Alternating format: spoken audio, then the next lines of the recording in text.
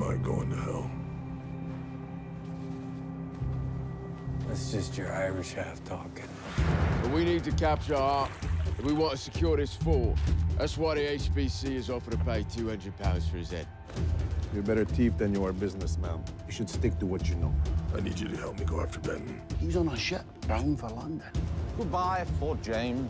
It was lovely while it lasted. But all good things must be traded for better things. I built my company from scratch! No one helped me! Not my parents, not my family! I did it myself! I worked hard! I play fair! I'm a good man!